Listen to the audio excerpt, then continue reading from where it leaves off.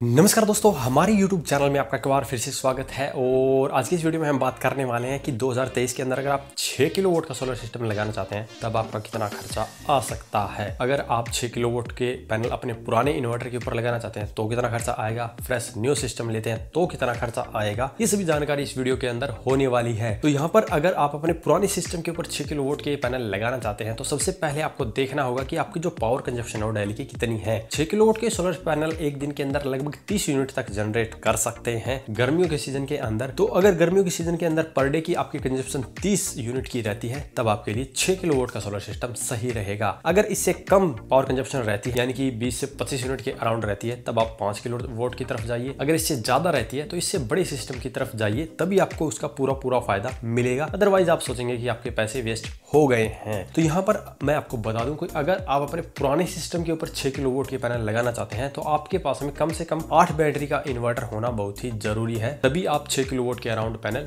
लगा सकते हैं। तो यहाँ पर 6 किलो वोट के पैनल की प्राइस की बात करें तो पोली पैनल आपको मिलेंगे एक लाख अस्सी हज़ार रुपए में और मोनोपर्क हाफ़ कट मिलेंगे आपको दो लाख दस हज़ार रुपए में और बाईफेशियल की बात करें तो वो आपको मिलने वाले हैं लगभग दो लाख चौबीस हज़ार रुपए में। तो तीनों ही टेक्नोलॉजी अपनी अपनी जगह सही है, जिसका बजट अच्छा है, वो बाईफेशियल या मोनोपर्क की तरफ़ जाइए। जिसका बजट कम है, वो पोली की तरफ़ जाइए, लेकिन पोली के अंदर आपको पैनल भी ज़्यादा लगाने पड़ते हैं। इसके लिए आपको ज़्यादा स्पेस की ज़रूरत पड़ती है, ज़्यादा स्टैंड और वायरिंग वगैरह की ज़रूरत पड़ती है। इस बात को भी आपको ध्यान में रखना चाहिए। तो यहाँ पर अगर आपके पास में छह बैटरी का सेटअप है देन आपको कंट्रोलर लेना होगा असा पावर कंपनी का हीलियो 60 जिसकी मदद से आप आठ बैटरी के ऊपर छह किलो वोट तक के पैनल बड़े ही आराम से कनेक्ट कर सकते हैं। तो यहाँ पर जो इसकी कॉस्ट है, वो लगभग बीस हज़ार रुपए है, और इसके अलावा भी आपका खर्चा हो जाएगा स्टैंड और वायरिंग का, वो होगा लगभग चालीस हज़ार रुपए। तो सोलर पैनल कंट्रोलर और वायरिंग वगैरह का कॉस्ट मिलाकर आपको देना पड़ेगा लगभग दो लाख चालीस हज़ार रुपए यानी कि ढाई लाख का अगर आपका बजट है देन आप पुराने सिस्टम के ऊपर अपने छह किलो वोट तक के सोलर पैनल लगाकर अपना सोलर सिस्टम तैयार कर सकते हैं।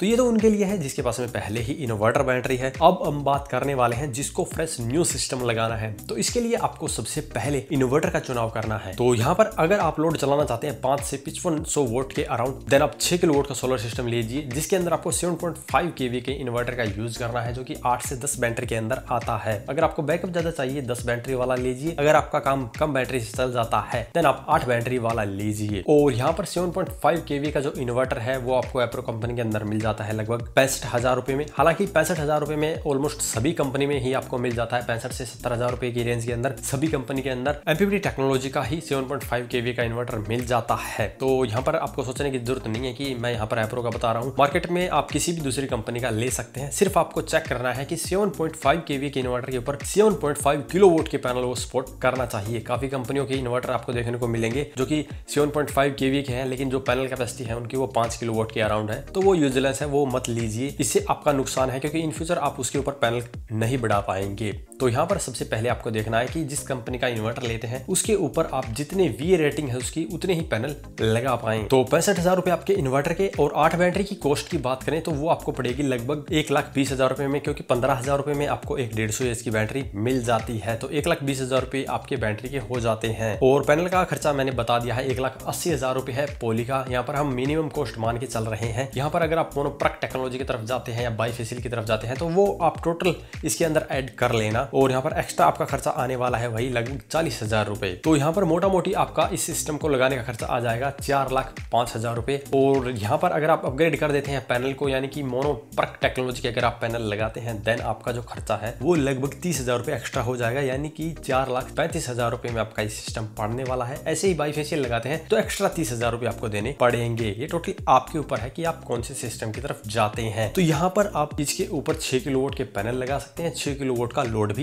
चला सकते हैं। लेकिन यहाँ पर इस सिस्टम के साथ में एक दिक्कत ये है कि आपको बैटरियाँ इतनी ही लगानी पड़ती है जितना आपका इन्वर्टर है, क्योंकि इसके अंदर आप कोई भी चेंजेस नहीं कर सकते हैं। हालाँकि थोड़ी सी बैटरी की कैपेसिटी कम ले सकते हैं, लेकिन ये नहीं कि बिल्कुल ही आप छोटी बैटरियाँ इसके ऊपर लगा दें। और ये जो दिक्कत करती है उन लोगों को करेगी जिसको सिर्फ़ दिन के समय में ही अपना लोड चलाना है। मान लीजिए आपका कोई शॉप है या स्कूल वगैरह है जहाँ पर इतना लोड आपको चलाना पड़ता है, लेकिन रात को आपको बैकअप की ज़रूरत ही नहीं है तो आप इतनी सारी बैटरियाँ लगा देंगे तो आपके वैसे ही पैसे वेस्ट जाने वाले हैं। तो इसका सबसे बढ़िया सोल्यूशन आपको मिलता है ट्रांसफॉर्मर लेस टेक्नोलॉजी के अंदर। तो यहाँ पर सेलक्रोनिक कंपनी के अंदर मैग्नम सीरीज़ के अंदर 5.5 किलोवाट का इन्वर्टर आता है और ये 48 वोल्ट के ऊपर ऑपरेट होता है, यानी कि सिर्फ़ चार बैटरियों पे ही आपका काम चल जाता है। और इसके ऊपर आप पाँच किलो से भी अधिक लोड बड़ी आराम से चला सकते हैं और सिर्फ़ चार बैटरियाँ लगानी पड़ती है। और इसके अंदर आपको काफ़ी फीचर भी मिलते हैं डिस्प्ले भी देखने को मिलती है और जो इसकी कॉस्ट है वो इसी कारण थोड़ी सी एक्स्ट्रा हो जाती है। ये इन्वर्टर आपको मिलेगा लगभग पैंसठ हज़ार रुपए में और इसके ऊपर चार बैटरियाँ लगाते हैं तो साठ हज़ार रुपए की आपकी बैटरी, पैनल आपके एक लाख अस्सी हज़ार के और एक्स्ट्रा आपका फिर से चालीस हज़ार रुपए। तो यहाँ पर आपका खर्चा आ जाएगा तीन लाख पैंतालीस हज़ार रुपए। तो यहाँ पर आप देख सकते हैं कि अगर आप आठ बैटरी के सेटअप के साथ साथ में जाते हैं, वहाँ पर आपको आठ बैटरियाँ लगानी पड़ती है और वहाँ पर आपका जो खर्चा है वो चार लाख से ऊपर हो जाता है। यहाँ पर आप अपने काफ़ी पैसे बचा सकते हैं और चार बैटरी से अपना काम चला सकते हैं। और यहीं पर ट्रांसफॉर्मर लेस टेक्नोलॉजी के साथ में अगर आप यूज़ करते हैं लिथियम बैटरी को तो आपका जो सिस्टम वो कंप्लीटली